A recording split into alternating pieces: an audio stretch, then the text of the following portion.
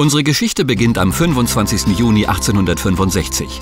Der englische Arzt Hudson Taylor fleht am Strand von Brighton zu Gott um willige, fähige Mitarbeiter, um mit ihm das Evangelium in die unerreichten Provinzen im Inneren Chinas zu bringen. So entsteht die China-Inland-Mission. Bereits nach einem Jahr kann Taylor mit seiner Familie und 16 Mitarbeitern nach China segeln. Ende 1866 arbeiten 24 Mitarbeiter auf vier Missionsstationen im Inland. Sie predigen das Evangelium und gründen Gemeinden. Andere Missionare möchten ihre englische Lebensweise beibehalten. Hudson Taylor aber ist davon überzeugt, dass das Evangelium nur Wurzeln schlagen kann, wenn Missionare sich mit der Kultur derer identifizieren, die sie erreichen wollen. Lasst uns in allem, was nicht sündig ist, den Chinesen gleich werden, damit wir auf alle mögliche Weise einige retten. Es folgen Jahre des Wachstums für die China-Inlandmission. 1888 arbeiten 294 Mitarbeiter in 14 Provinzen.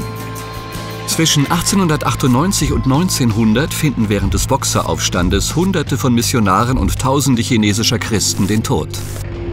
Die CIM verliert 58 Mitarbeiter und 21 Kinder, mehr als jede andere Mission. Durch diese Zeit der Verfolgung wächst der CIM auf 933 Mitarbeiter an.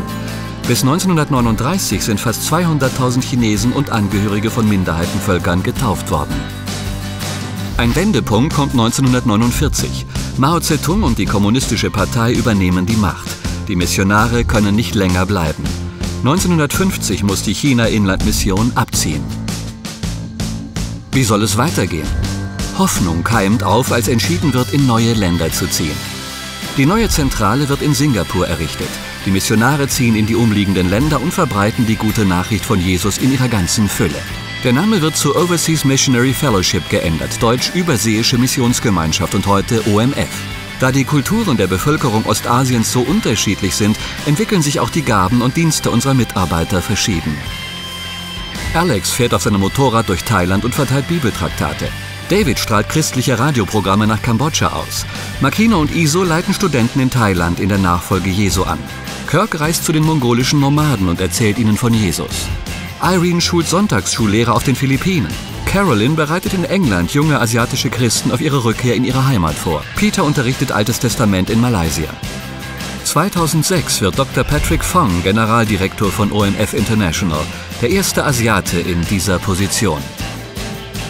Heute haben wir mehr als 1400 Mitarbeitende aus über 40 Nationen, die unter etwa 100 Volksgruppen in Ostasien arbeiten aber auch unter Asiaten in Europa, Afrika, Nord- und Südamerika, Neuseeland, Australien und in Asien.